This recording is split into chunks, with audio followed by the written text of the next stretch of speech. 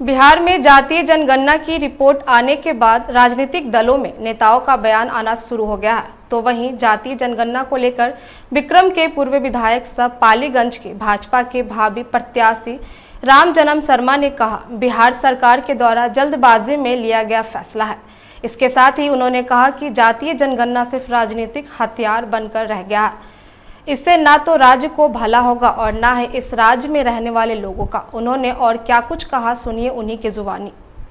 बिहार में जातीय जनगणना का रिपोर्ट अब आ चुका है और जैसे ही रिपोर्ट जातीय जनगणना का आया, बिहार में राज्य सरकार के द्वारा प्रस्तुत किया गया तो तमाम, चाहे वो राजनीतिक गलियारा हो, आम जनता हो या जो समाजसेवी हैं, उनके बीच ये चर्चा बन चुकी है कि जातीय जनगणना का रिपोर्ट आया है और आखिर इस रिपोर्ट में है क्या?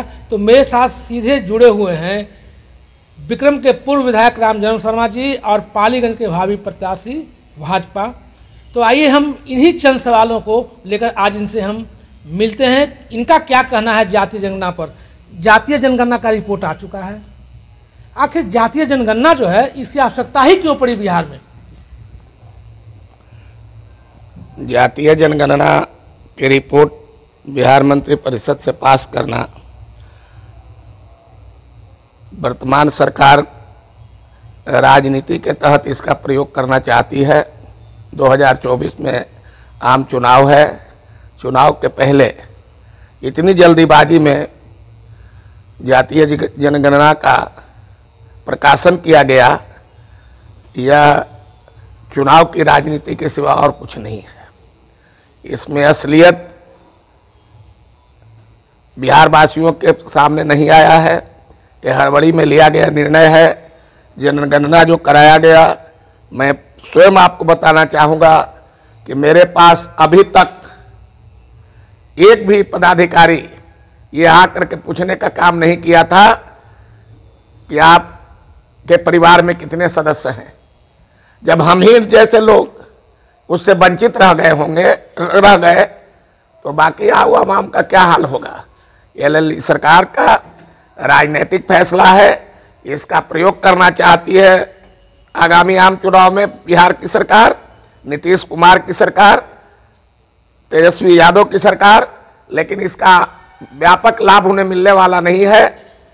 आपको मैं बता दूँ कि अभी तक बिहार में जो सरकारें रही हैं उसमें अधिक संख्या में पिछड़े और अति पिछड़े जाति के मुख्यमंत्री रहे हैं बिहार में।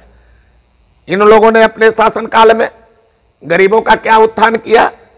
गरीब, निरंतर गरीब बनते रह गए।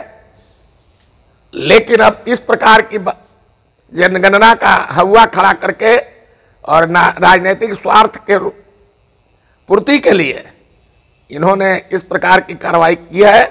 जनता समझ रही है कि हमें कौन रक्षा करेगा, हमको कौन आर्थिक स्थिति मज़बूत करेगा, हमको गरीबी रेखा से ऊपर कौन उठाने वाली सरकार है और कौन पार्टी है, उसके प्रति जनता पूरे मन बना करके बैठी है कि आने वाला दिन में हम अति पिछड़ा प्रधानमंत्री नरेंद्र मोदी के हाथ में फिर 2024 की शासन सौंपेगा, इसे दुनिया की कोई ताकत नहीं रोक सकता है।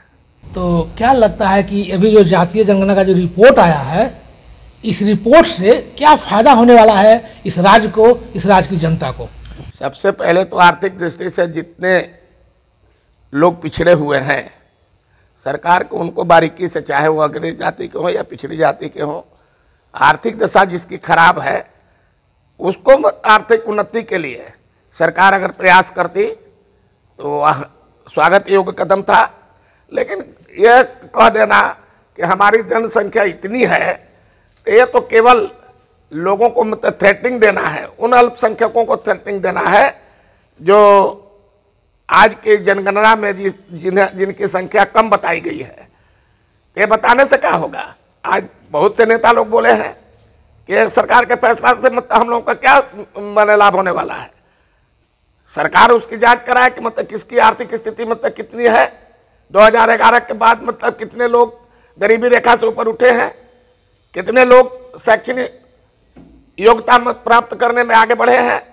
वैसे लोगों को सरकार की चाहिए कि वैसे लोगों को खोज करके उनका गणना करा करके और उनकी आर्थिक उन्नति के लिए लिए, उनको आगे बढ़ाने के लिए, उनकी दशा को सुधारने के लिए, उनकी शैक्षणिक योग्यता को बढ़ाने के लिए अगर ये सरकार प्रयास करती तो उसका व्यापक स्वागत होता है इस धरती पर। ये तो सरकार कहती है कि जात पात को मिटा देना चाहिए।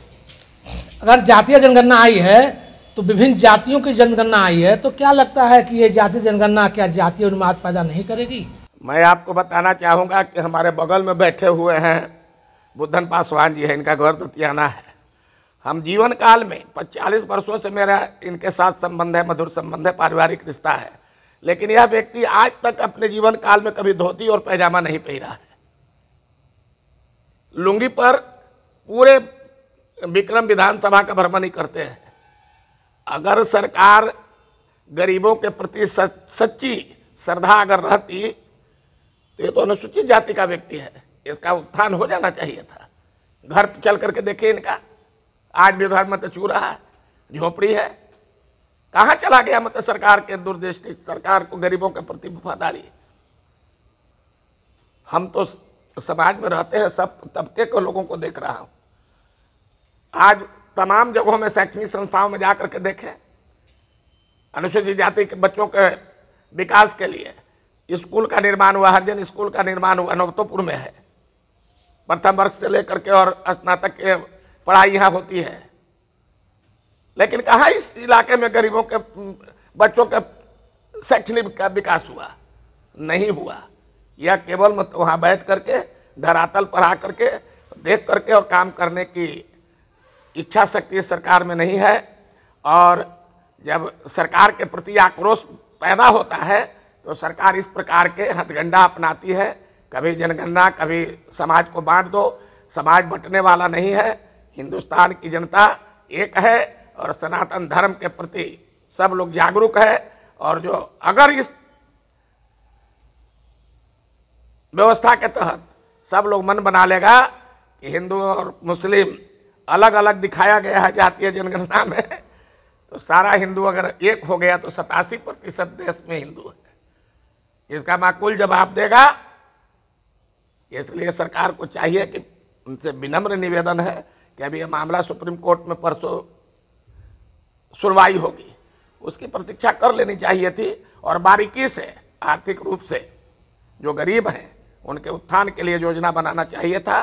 चाहे जिस जाति का लोग गरीब हो, उसकी उन्नति होनी चाहिए, उसका विकास होना चाहिए, उसका घर में आर्थिक से लेकर के, शैक्षणिक से लेकर के और सामाजिक सब प्रकार के विकास के लिए सरकार को कटिबद्ध होना चाहिए। यह केवल बता देना, हम तो पहले ही से जानते हैं कि अनुसूचित जाति बहुत है, मुस्लिम जाति में भी लोग। लेकिन उसकी आर्थिक दशा कहाँ सुधरी है? आप गाँव में घूम करके देखिए, जितने मुस्लिम के लड़के लोग हैं, या तो जर्दी का काम करते हैं, या तो बाल काटने का काम करते हैं जगह जगह अंडा बेचने का काम करते हैं, उनकी आर्थिक समृद्धि कहाँ हुआ? सरकार में अगर सरकार की नीयत साफ़ रहती तो आज उनकी दशा सुधर सकती थी। लेकिन यह केवल मत राजनीतिक पैतरीबाजी है जैसे अंग्रेज़ करता था फुट डालो और राज करो। उसी प्रकार से वर्तमान की सरकार समाज में फुट डालो और शासन करो की नीति पर काम कर रही है जिसे जनता सही समय पर माकूल जवाब देगी।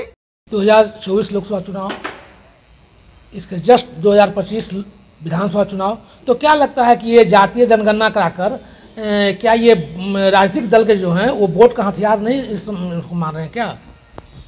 बिहार में नीतीश कुमार की सरकार का लगभग कितना बरस हो गया? सत्रह सत्रह, अठारह वर्षों से बिहार में माननीय नीतीश कुमार जी की सरकार है। कभी भारतीय जनता पार्टी के साथ रह करके इन्होंने सरकार चलाई। इस समय राष्ट्रीय जनता दल के साथ होकर के सरकार चला रहे हैं। लेकिन मैं आपसे यह जानना चाहता हूँ या मैं बताना चाहूँगा कि जितने लोग बिहार में गरीब हैं, उनके, उनकी आंकड़े इस सरकार के पास है क्या? नहीं है। चाहे जितना मांझी हो जाए, या मतलब अति पिछड़े के और नेता हो जाए, या अनुसूचित जाति के नेता हो जाए, सब लोगों को आरक्षण मिला है। लेकिन कहा मत नीतीश कुमार जी, जो आज आंकड़ा पेश किए हैं उनके अनु, अनुसार अनुसूचित जाति का हाथ में देना मत सत्ता को। बहुत दिन तक इन्होंने सत्ता चलाने का काम किया है। अनुसूचित जाति की जिसकी संख्या है धरती बिहार में उनको सत्ता चलाने के लिए क्यों नहीं दे रहे हैं? सत्ता के ऊँची कुर्सी पर मैं रहूँ और केवल जनता को जनगणना करा करके जातीय जनगणना करा करके और लोगों में भ्रांतियाँ पैदा करना इससे बिहार को भला होने वाला नहीं है। बिहार अत्यंत पिछड़ा हुआ देश है, राज्य है। हम लोग यहाँ गरीबी रेखा से नीचे 80 प्रतिशत लोग जीवन बसर करते हैं। हम नीतीश कुमार जी से यही निवेदन करेंगे कि आप बिहार के मुखिया हैं। जो 80 प्रतिशत गरीब यहाँ लोग हैं, उनकी दशा को सुधारने के लिए आप प्रयास करें, तब बिहार का विकास हो सकता है। आज आप जाकर के देखें ना आईजीएमएस में, कल लगता था कि तीन चार हज़ार की भीड़ थी रोगियों का। पीएमसीएच में जाकर के देखे, उस पेपर में तस्वीर दिए हुए हैं। क्या उन सब लोगों को इलाज हो गया था का कल? नहीं हुआ था। बहुत लोगों को पुर्जा लेकर के और चलते बनना पड़ा पड़ा वहाँ से। सरकार रोज घोषणा करती है कि मुफ़्त के एक सौ दवाइयाँ रखे हुए हैं, लेकिन एक भी दवाई नहीं है आईजीएमएस में पीएमसीएच में और एनएमसीएच में। सरकार की घोषणा तो केवल लोगों को ठगने के लिए है, अपनी राजनीतिक रोटी सेकने के लिए है। इससे जातीय जनगणना से बिहार को कोई भला होने वाला नहीं है। इसको राजनीतिक हथियार के रूप में अगर प्रयोग करना चाहेंगे तो जनता इसको माकूल जवाब देगी। आने वाला समय बताए। मेरे साथ से जुड़े हुए थे विक्रम के पूर्व विधायक रामजनम शर्मा जी और पालीगंज भाजपा प्रत्याशी भाभी। तो चूँकि इन्होंने स्पष्ट कहा जातीय जनगणना को लेकर, जातीय जनगणना जो का जो रिपोर्ट आया है या जातीय जनगणना जो कराया गया है, ये हड़बड़ी में कराया गया है, जल्दीबाजी में कराया गया है। साथ ही इन्होंने कहा कि जातीय जनगणना से इस राज्य का भला होने वाला है। ये समाज एकजुट है और जब समाज एकजुट है तो इनका कहना है कि 2024 जब लोकसभा चुनाव आएगा तो निश्चित रूप से जनता इसका जवाब देने के लिए भी तैयार है। अजय कुमार, बिहार न्यूज़, पटना।